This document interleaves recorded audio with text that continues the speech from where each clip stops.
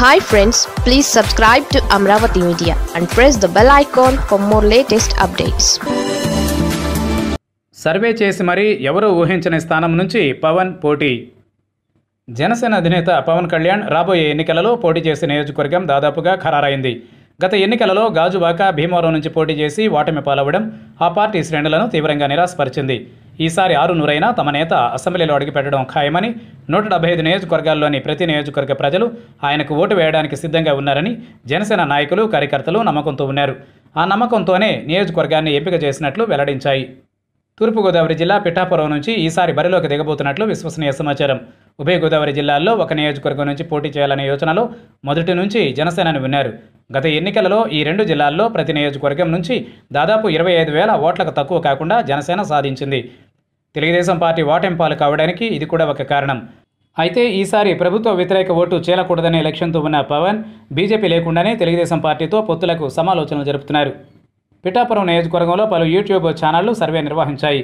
ఈ సర్వేలో స్థానికులంతా పవన్ గత ఎన్నికల్లోనే ఇక్కడ నుంచి పోటీ చేసి ఉండాల్సిందని గెలిపించుకునేవారమని చెప్పారు. రెండు వేల పంతొమ్మిది ఎన్నికలలో జనసేన అభ్యర్థిగా పోటీ చేసిన మాకినేడు శేష్ కుమారి భారీగా ఇరవై ఎనిమిది వేల ఓట్లు సాధించారు. నూట యాభై ఒక్క సీట్లు సాధించిన జగన్మోహన్ రెడ్డి హవాలో కూడా ఆమె అన్ని ఓట్లు సాధించడం అద్భుతంగా పరిగణించారు రాజకీయ విశ్లేషకులు.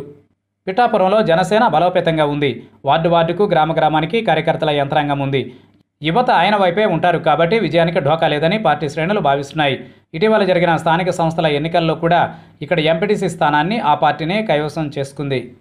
ఈ నియోజకవర్గం నుంచి పవన్ పోటీ చేసే పరిస్థితి ఏంటి అనే విషయం తెలుసుకోవడానికే యూట్యూబ్ ఛానళ్ళతో సర్వే నిర్వహింపచేసినట్లుగా భావిస్తున్నారు.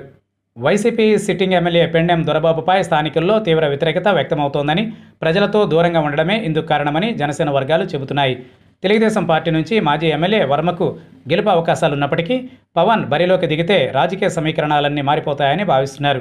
పిఠాపురం నుంచి పవన్ కళ్యాణ్ పోటీ చేస్తే ఆ ప్రభావం కాకినాడ అర్బన్ రూరల్ పెద్దాపురం తుని తదితర నియోజకవర్గాలపై ఉంటుందని వీరంతా విజయం సాధించడానికే అవకాశం ఉందని అంచనా వేస్తున్నారు.